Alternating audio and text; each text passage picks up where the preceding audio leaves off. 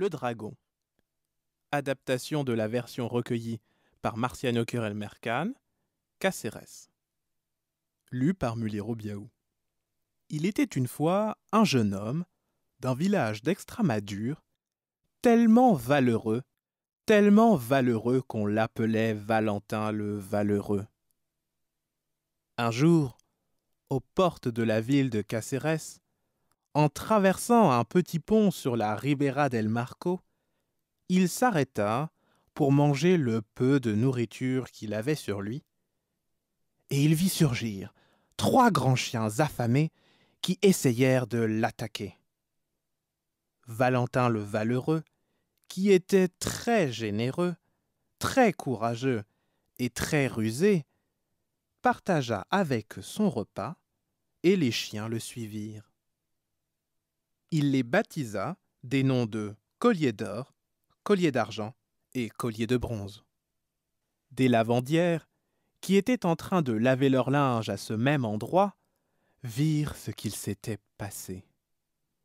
Ces lavandières, comme tous les habitants de cette ville, étaient très tristes et effrayées.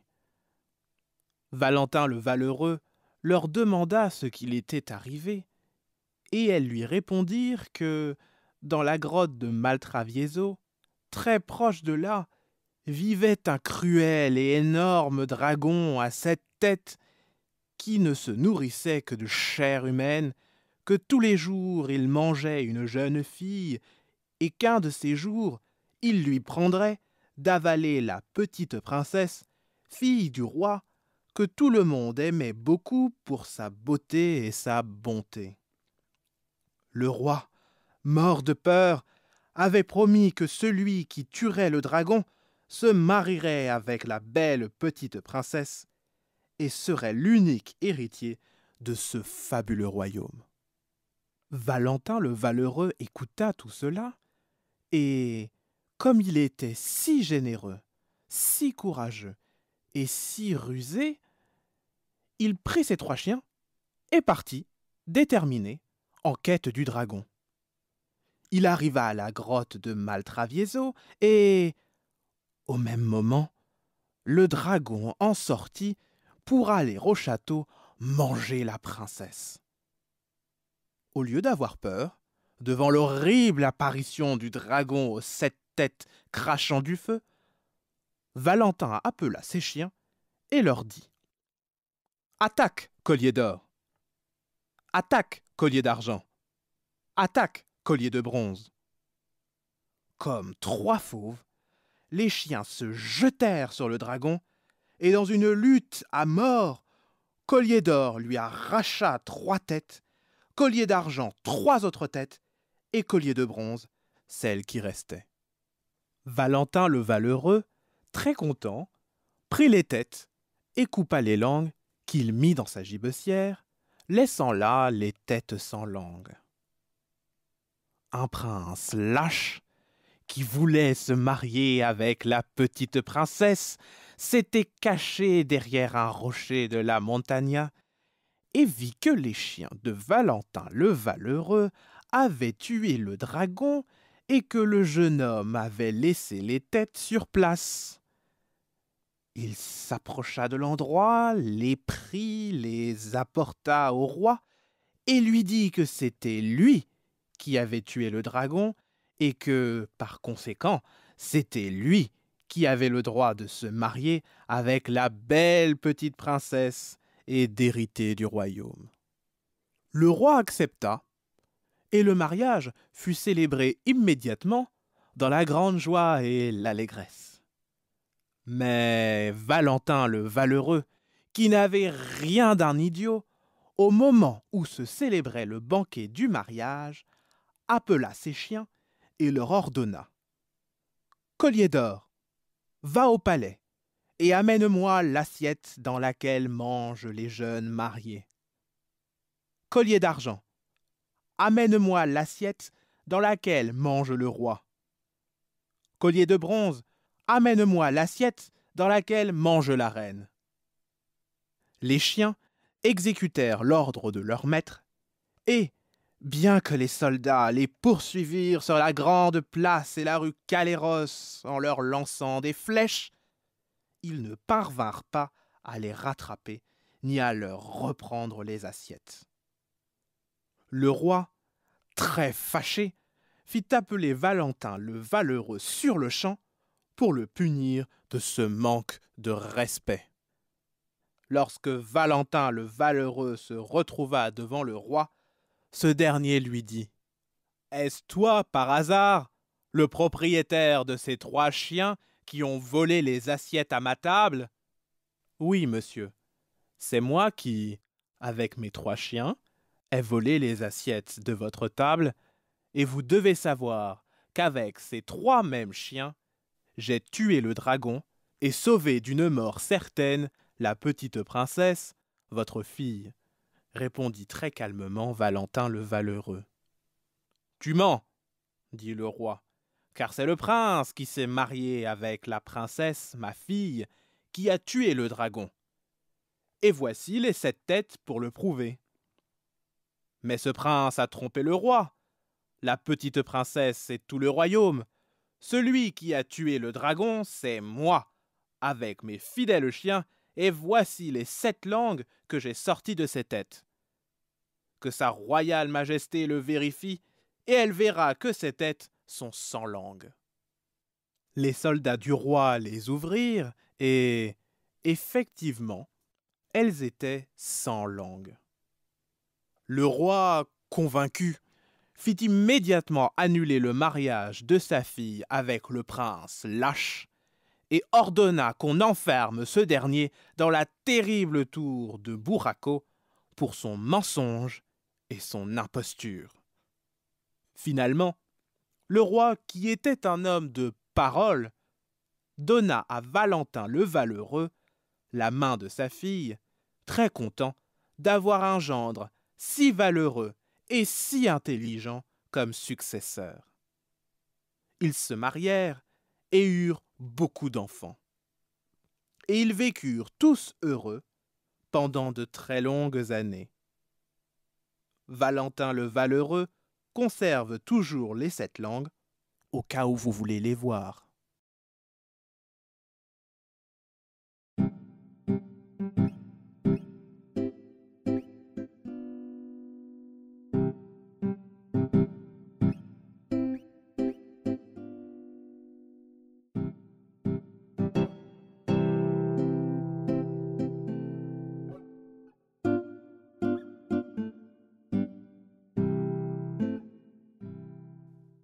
La fleur du lililon.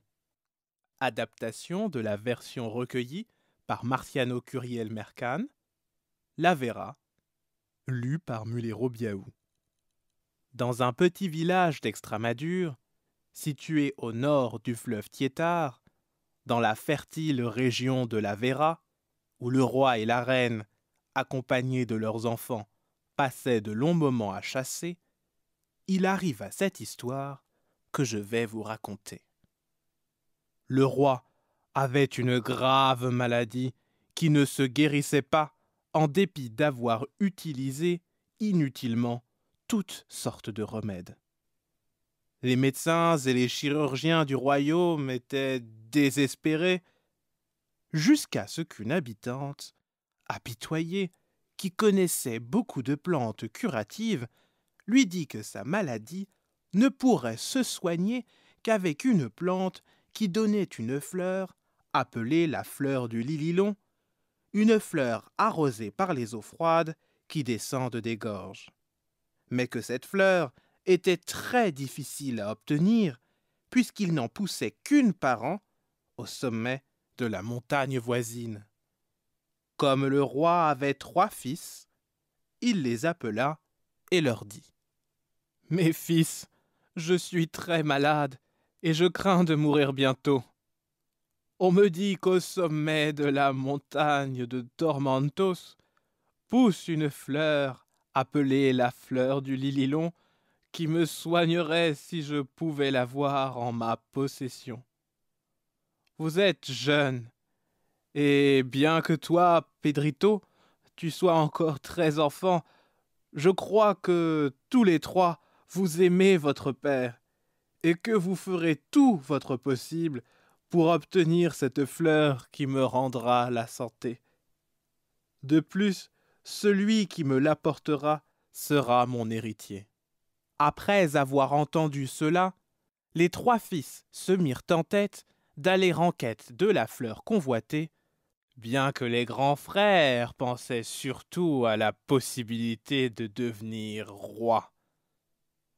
Ils s'en allèrent ensemble, marchèrent des lieux durant, traversèrent le fleuve Jaranda et les belles gorges qui irriguent la zone comprise entre l'Avera et la vallée du Gert, jusqu'à ce qu'ils parvinrent enfin au flanc de la montagne.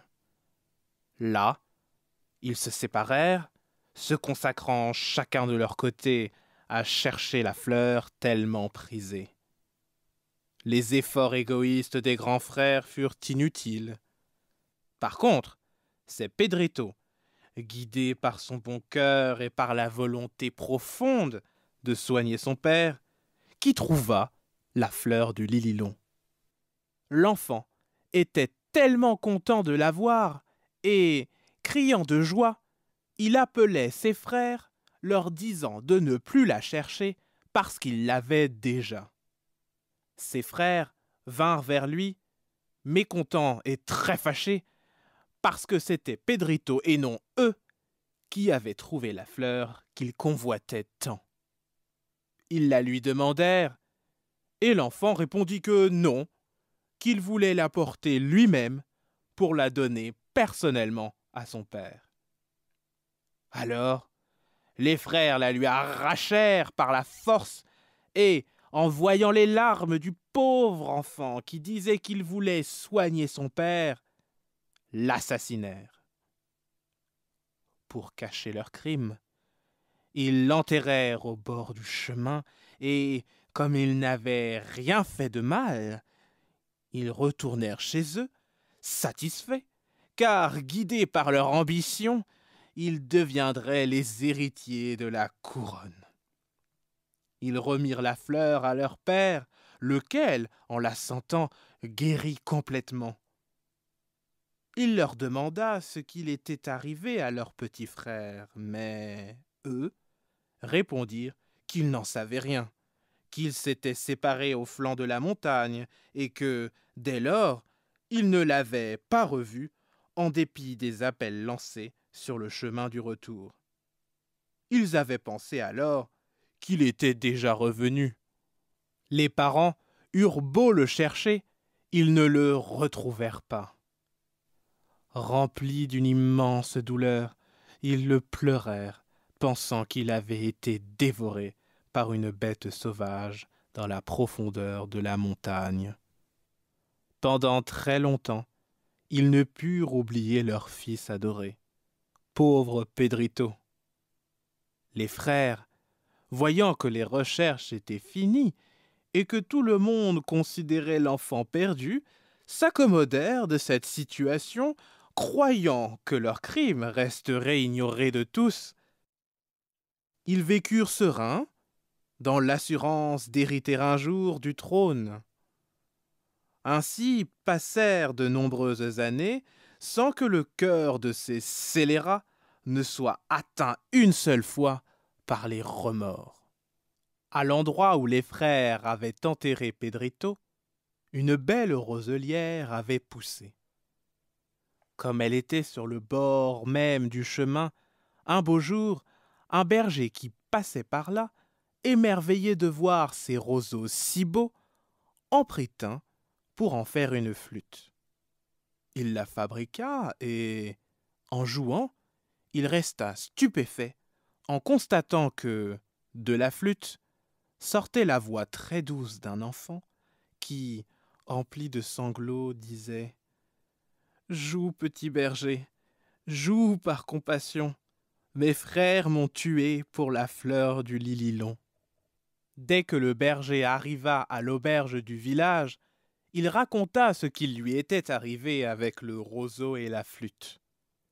Il la donna à la patronne de l'auberge pour qu'elle en joue, et, en jouant, ils entendirent, tous stupéfaits, que la flûte chantait avec la même voix.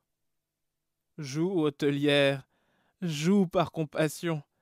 Mes frères me tuèrent pour la fleur du lililon. Tous ceux qui étaient dans l'auberge reconnurent étonnés que la voix qui chantait était celle de Pedrito, l'enfant mort il y a des années. De suite, ils allèrent le dire à ses parents et à ses frères. Ils accoururent tous immédiatement, le roi et la reine de très bon gré, et les frères, à contre-cœur, craignant le pire. Le père et la mère jouèrent de la flûte l'un après l'autre. La flûte, comme si elle pleurait, leur disait Joue, mon père, joue par compassion. Mes frères me tuèrent pour la fleur du lililon. Joue, ma mère, joue par compassion. Mes frères me tuèrent pour la fleur du lililon. Joue, mon frère, joue par compassion. C'est toi qui m'as tué pour la fleur du lililon. Les parents et tous les habitants du village, en entendant cela, accablèrent d'insultes méritées ses frères assassins, les obligeant à venir avec eux pour qu'ils leur montrent la tombe de leur petit frère. En arrivant à la roselière, ils creusèrent et très vite ils trouvèrent le cadavre du brave enfant qui, plus tard, put être enterré avec les honneurs d'un prince. Les frères, haïs et méprisés de tous, subirent le châtiment mérité.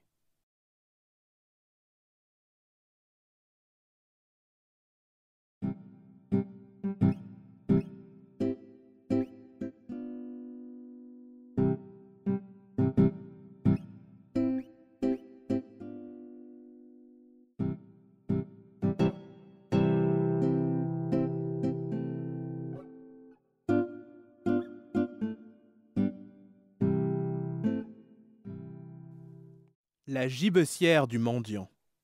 Adaptation de la version recueillie par Marciano Curiel Mercan. Madroniera. Lu par Mulero Biaou. C'est l'histoire d'une jeune fille très belle qui alla un jour chercher de l'eau à la source. En arrivant au puits, elle ôta les très jolies bagues qu'elle portait et les posa sur la margelle pour éviter qu'elles ne tombent dans l'eau mais en partant avec les brocs pleins, elle oublia ses bagues. Arrivée près de chez elle, elle s'en souvint, laissa les brocs là, et alla chercher ses bijoux. Lorsqu'elle arriva, il n'était plus sur la margelle. Près du puits, elle tomba sur un mendiant à qui elle demanda s'il avait vu les trois bagues. Le mendiant lui répondit que oui, qu'il les avait trouvées et mises dans son sac avec le reste de ses aumônes. Il lui dit que, si elle les voulait, elle devait mettre la main dedans pour les prendre. La jeune fille, confiante, y introduisit la main et le mendiant la poussa et la mit dans son sac. Avec la gibecière et la jeune fille à l'intérieur, le mendiant alla demander l'aumône dans le village, et, en arrivant aux maisons, il disait Chante, gibecière, chante, car sinon je te donne un coup de bâton. Et alors, la jeune fille chantait ceci d'une voix triste, en pleurant. À cause de trois bagues en or que, à la source, j'ai laissées, Adieu, père, et adieu, mère, car je ne vous reverrai plus. À la sortie du village, le mendiant entendit les cloches de l'église qui sonnaient la messe, frappa à la porte d'une maison et demanda aux habitants s'ils pouvaient garder le sac pendant qu'il était à l'église. Une brave femme, voyant un homme si pieux, garda la gibecière. Pendant que le mendiant était à la messe, elle se mit à pétrir la pâte. Cette femme avait plusieurs enfants et, en la voyant avec le rouleau, tous lui demandèrent qu'elle leur fasse une couronne de pain. La jeune fille, qui entendit cela depuis l'intérieur du sac, cria Et moi une galette La brave femme, entendant parler depuis l'intérieur du sac, resta stupéfaite et voulant se convaincre qu'effectivement on avait parlé depuis l'intérieur du sac, fit répéter ses enfants. Lorsque les enfants dirent qu'ils voulaient une couronne de pain, la jeune fille, depuis l'intérieur du sac, dit Et moi une galette La femme comprit qu'à l'intérieur du sac, il y avait une personne, l'ouvrit et se trouva avec la jeune fille, laquelle, folle de joie, commença à pleurer et à rire. À elles deux, elles remplirent le sac de toutes les bestioles qu'elles purent trouver et le fermèrent à nouveau pour que le mendiant ne se rende compte de rien. Le mendiant revint, prit la gibecière, s'en alla vers une autre maison pour demander l'aumône et répéta comme toujours Chante, gibecière, chante, car sinon je te donne un coup de bâton. Mais la gibecière, comme on pouvait s'y attendre, ne chanta pas. Très fâché, le mendiant dit Si tu ne chantes pas, je t'emmène vers une montagne et je t'étrangle. Mais ça ne marchait toujours pas. La gibecière restait muette. Le mendiant, désireux de punir la désobéissance de la jeune fille, alla vers la montagne et ouvrit la gibecière pour la tuer, mais à sa place sortit une multitude de couleuvres, de lézards, de vipères, de rats et mille autres bestioles qui dévorèrent sur le champ le maudit mendiant.